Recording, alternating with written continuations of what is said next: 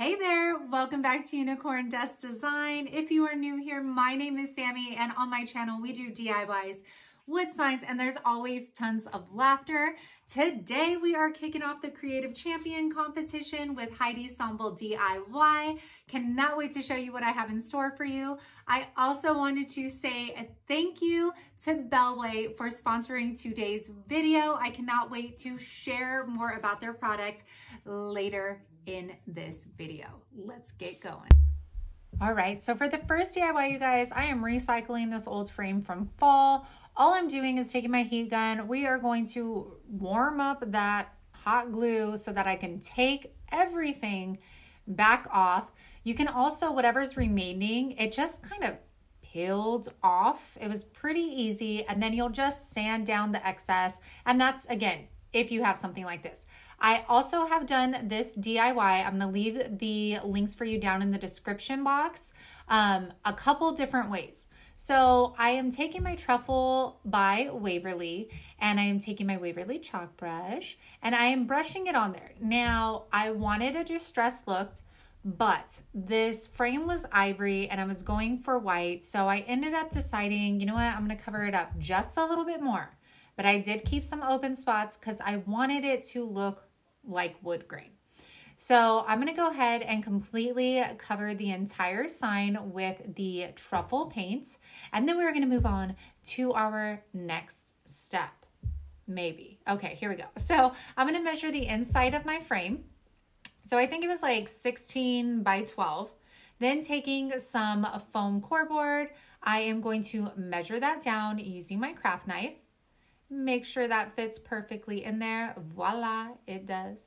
Now taking painter's tape, I am going to create some stripes. So you're gonna get a little piece, just like I did right there, and go further up though. Go in the middle. I don't know why I went so far down. And we're gonna use that as a guide, and that's going to give us straight lines, and it is also going to give us the perfect amount of spacing in between each of our stripes here. So now taking Still Gray by Waverly, I am just to paint this right on there. Of course, you guys, this is preference. Um, I decided to cover the entire thing. You can do like a distressing, whatever you want to do. But we are going to dry brush on top of this. So I'm to finish painting. Then we're to take off and see those crisp lines. Oh my gosh, there's nothing more beautiful than crisp lines, let me tell you. And I used my expensive painter's tape, so you know your girl is saving this. All right, so now taking some white Waverly chalk paint, I am dry brushing it on the gray and the white board. I get it, it's white, but it does show up and it makes it look like it's painted. So, and then I mess up on the last stripe and I kind of like go ham and oh, right there. Ay, ay. Did not want that, but you know what? You just got to work with what you got, right? So we're going to finish that up. Now we're going to set that aside. Now taking one of these wreath forms from Dollar Tree, I am cutting it up. We're going to use the two middle rings here. Now taking burlap ribbon from Dollar Tree, I'm just going to wrap this baby around. I'm just going to keep on wrapping it. I'm pulling tight and then we're going to hot glue it again at the end. This is going to give us a great base to put our greenery on so we're not trying to attach it to the little skinny round piece things, you know. Okay, you guys get it. All right, so now taking some fern. This is actually from Walmart and I had it in my stash, but you guys, look at how amazing that like bended, bent, bended, you know what I'm saying, to the round wreath form. And I thought it was just different than using boxwood. A lot of us do use boxwood lamb's ear, which I love, and I have a bunch of it. This just looked, I don't know, different. It looks, I don't know, to me like upscale, higher end. So I go ahead and I just layer a few of those fern pieces on just to make it look nice and full. This stuff attached so easily to the burlap and each other. It didn't melt. It was really awesome. So after you get that full and how you like it, then we are going to, um, I just added little pieces of the leaves on the little bald spots where you could see the burlap still. So now taking the remainder of that burlap ribbon, I'm going to play around with our placement here. I have it on our foam board, just seeing where I want it to lay. I made a decal, which will be available in my Etsy shop for you. I'm just gonna hot glue the ribbon to the back of our foam board. And you guys, like I said, I have made this a couple different ways. I have made it with paint sticks as the frame and I have made a bigger, uh, like big version of the foam board with a bigger picture frame. So definitely check those out. All right, so I applied my Oracal 651 permanent vinyl. Says pray, wait, trust. Really love that saying. And now we are just going to pop this in. Now, we majority of us know foam board likes to start bending when you apply paint to it. So what I had to do here was put some hot glue on the inside of the frame, which didn't bother me. I could always rip it out, right? But on the right side where I had cut just a little too much, I had to get a craft stick, hot glue it in there so it didn't like bow back out. And yeah, I'll check this out. Would anybody in their right mind ever think that I made this with Dollar Tree items, Walmart items. I mean, no, they would think I got this at Hobby Lobby, and that's exactly the way I intended it to be. All right, y'all, that first DIY, in my opinion, came out so super cute, and it was so, so easy. All right, you guys, I want to explain what's going on here today. So I joined in in the Creative Champion competition hosted by Heidi Sombel DIY. I'm going to leave the link for her channel down in my description box along with the hop for today's video. So we're not only doing a competition, we're also doing a hop so you can see the other creators in the competition. So head down to my link, click, head down to my description box, click on the link to see who is next in this hop. Make sure to head over to Heidi Sombel's page so you can see all of the DIYs that we submitted for the competition. And then you're going to vote on her website for your favorite project. And then we will know next week who moves forward in the competition. So y'all, with that said, if you're digging me, if you're digging the DIYs, if you are digging this channel, make sure you like, make sure you subscribe, and let's get back into it. All right, so our next DIY, we are going to use the Jennifer Page Simply Blessed calendar, and we are going to take this um, Dollar Tree sign. I'm going to grab my Mod Podge. You could get this little one at Dollar Tree, and I'm just going to apply it on. I know there are so many different ways of applying Mod Podge and the paper on. I am somebody that is not like striving for perfection. I'm okay with the wrinkles and all of that stuff. So this is how I chose to do it. So I'm just going to put it all over our sign. Then we are going to get our calendar page. I'm going to put that on there. Now we have that hole on top. So what I did was just cut a little piece of the calendar off that we're not going to be using. Of course, my forehead has to make an appearance in my videos. If you're new, hello, let me introduce you to my forehead. It's in a lot of my videos. Okay, so now I'm just going to try and smooth this down the best I could. Obviously, you can see there's wrinkles. That's okay. Now taking a rough sanding block from Dollar Tree, I am going to sand in downward motions. So some tips here. Make sure that your Mod Podge is dry and then go in downward motions. If you go in like sideways trying to sand it, it's going to pull up that paper. So this is what I've found works best. So we are going to take that all the way around. It is going to give us nice, crisp, beautiful lines like it was made to be a part of this sign. Now taking a grapevine grapevine wreath. We're taking more apart, you guys. I found this in my closet. I've had it forever like this. Look, it even still has the tags. Oh my goodness, girlfriend. Okay, so we're going to take this.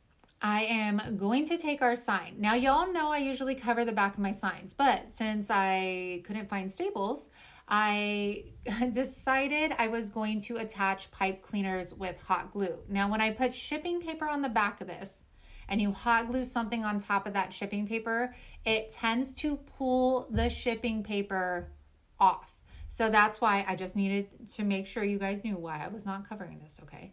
So we're gonna put four in each corner here. I just got my pipe cleaners from Dollar Tree. I think these are from Halloween or something. After we're done doing that, make sure they they dry really well because you don't want to pull at them and then they fall off. So now we're easily, grapevine wreaths are so, so easy to work with, y'all, because you just put everything through the little branches and you, it's like perfection. You don't have to use hot glue on these wreaths, which I love. So I am just pushing the pipe cleaners through. Everett needed his Pez. You guys, why haven't they, after all this time, why haven't Pez been easier to put inside the actual Pez? Like, why? Why does it have to be one by one? Is that the joy of it? I don't know. Anyways, so back to our DIY.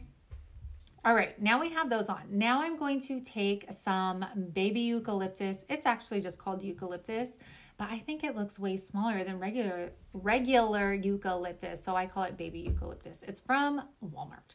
So I'm going to go ahead and sporadically put this in first. I don't want it super full because I did not know where I was going with this yet.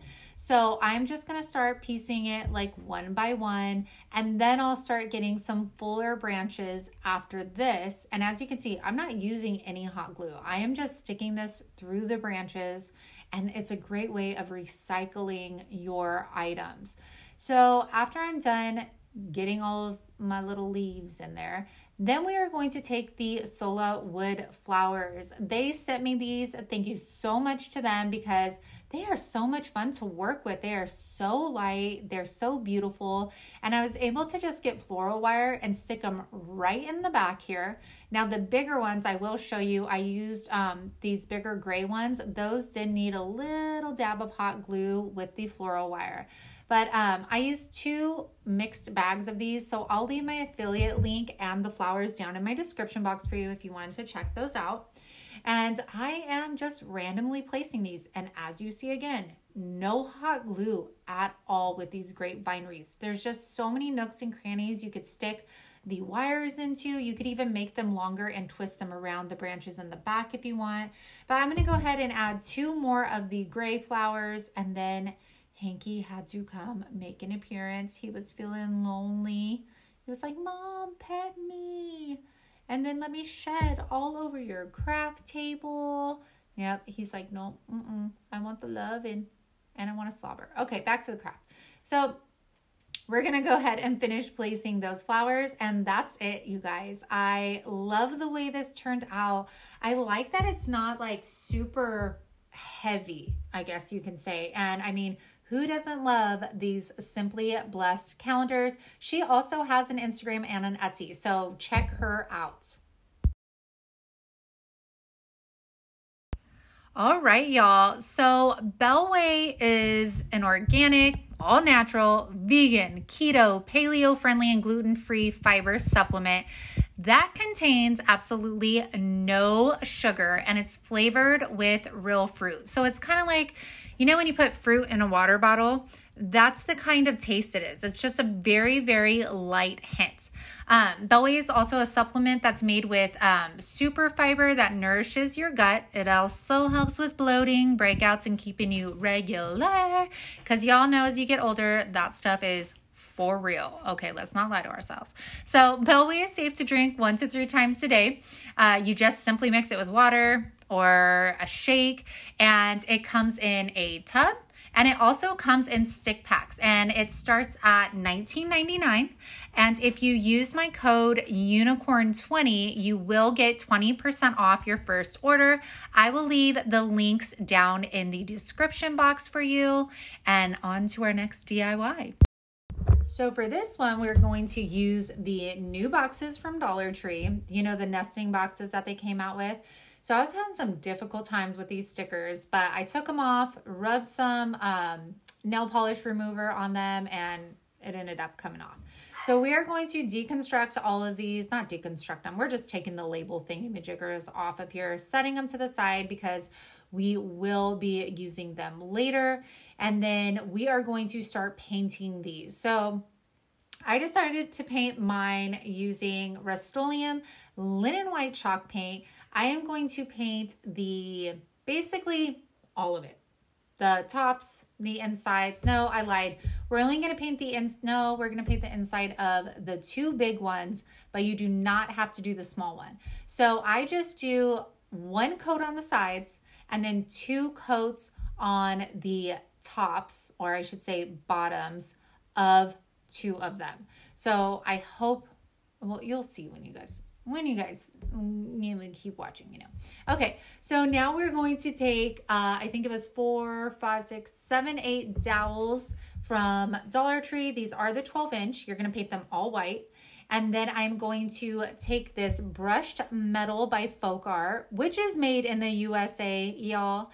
And we are going to paint these because they were more of the brass color and I was going with grays and everything. So I decided to use this brushed metal and it came out absolutely gorgeous.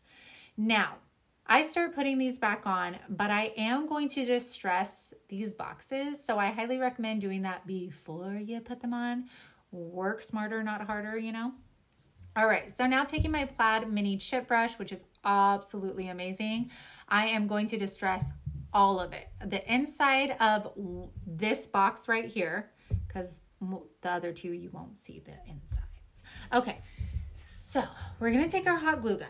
We're gonna take our dowel sticks and dowel rods, whatever they're called. And I'm putting the hot glue towards the bottom and the sides and then I'm pushing the dowel rod down and up against the sides of the wall. So you can see right there. We're going to do that for all four of them. So this is going to be the bottom. That's why I painted the inside of this box. Or you can keep it the colors that they are because the colors are absolutely gorgeous on these. I was just, you know, it was it was going with all my DIY. So I painted it white with gray. All right, so after we're done with that, we're gonna take the next bigger box and we're going to apply hot glue in there and we're going to slide the dowels down in there. Let it set up for a minute before you flip it back around. After that settles up, then we are going to start playing with our dowel sticks on the side, which we are going to create an X shape. So your first dowel rod will sit flush with the walls of the um, square boxes. However, you guys, my hair and my forehead, hello. Um, this is how you know I'm involved in this DIY. I get all up in the camera. All right, so this one is not gonna sit flush. So you do need to hold it there just a little bit longer just so you make sure that it's it's stuck in there good, okay? But it does work, I promise. I'm gonna do the same thing for the opposite side of this, and then we're gonna move on to the top of our lantern. So here's our little guy, and I'm putting the hot glue towards the inside of the box. That way when we put it on top, it doesn't spill out. We don't want that. All right, so now taking this little pail, I'm gonna actually take the handle of it, and I played around with a bunch of different wooden pieces, in uh, I end up going with the little square pieces from Dollar Tree. As you can see, I squeezed the side handles so that we can fit them into the holes of if you want to use beads. I ended up drilling holes in these little squares and the handles actually fit in there. You'll see soon after I, I finish doing this. There we go. And that's going to be the top piece to our lantern. So here you go. I thought that was fun. I loved the details on these boxes with the little label holders. I don't know what they're called, y'all, but I thought this was super chic. It was easy to make, and hopefully you guys can find these boxes. I hope you guys enjoyed this DIY. Now we're moving on to the next one. Oh, surprise. Hold up. I wanted to show you what I submitted for the creative competition. Um, make sure to head over to Heidi's channel so you can vote for your favorite project and to see how I made this, most importantly. All right, the last one. We are taking these signs from Dollar Tree. I am going to measure them down to 11 inches, 8 inches, and five and a half inches long. Then I'm going to take them out to my garage. I am going to cut them. Voila! And I'm going to clean these down, make sure all the debris is off of them. Now we are going to move on to painting them. So I chose to paint mine three different colors. I'm going to start with the Rust-Oleum in linen white. I did have to do quite a few coats on these. Um, for the white, at least three coats to cover up the pink for whatever reason, the sides with the images sanded off perfectly fine, but the other sides didn't. Anyways, I'm using moss green for this one. This one just took like a heavy coat and we were good to go. And then for the third one, I used the still gray. I did have to do two coats for this paint to cover the pink. After we're done with that, I'm going to take Antique Wax by Waverly and I am going to do a de-stressing on these. Now I'm taking my stencil brush from Dollar Tree. I guess I wanted you guys to watch me dry that. And I like when I do distressing to start from the outer edges and work into it because I feel like it gives it more like definition, like almost like the paint's peeling from the outward going in. Does that make you guys picking up what I'm putting down? Okay, so I do this with all of our wood pieces. You can also just leave them nice and clean and painted. That is up to you. So after we are done with all three of these, I did make a stencil, not a stencil. I made a decal on my Cricut machine. We are going to apply those on. I guess I wanted you guys to see me paint everything. And I'm using Vinyl Ease Transfer Tape, which is my absolute favorite. And then Oracal 651 Permanent Vinyl. We're to apply those on here. And then we have ourselves a cute little stackable sign. You could even make these reversible. I was to use um, rub-on transfers from Dollar Tree, but I never buy enough packs to make more than like a couple words. So I need to keep that in mind next time. All right, so that is it for these DIYs, you guys. Thanks for joining me. If you're new, I absolutely appreciate you coming over. I do hope that you subscribe and like this video. Also, make sure to check my link for the next person in the hop and to also head over to Heidi's channel so you can see what we submitted for our Creative Champion competition and make sure to vote for your favorite project. I appreciate you guys being here today. I hope you have a wonderful, wonderful weekend and I will see you soon.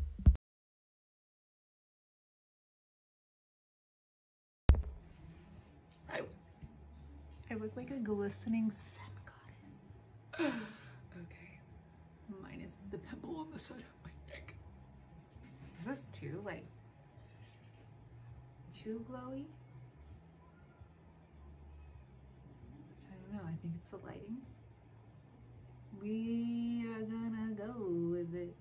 Another Walmart shirt in my collection. Okay. Hello there. Welcome back to Unicorn Dust Designs. My name is Sammy. Oh, look at that background. As usual. Today, you guys, is the first video on the creative, no, what, what is it? Creative Champion Competition, Creative Champion Competition. What is it called? Hmm. Yeah, girl, I had to go look that up real quick. Okay, let's do this again. This is bothering me. No. That was so corny.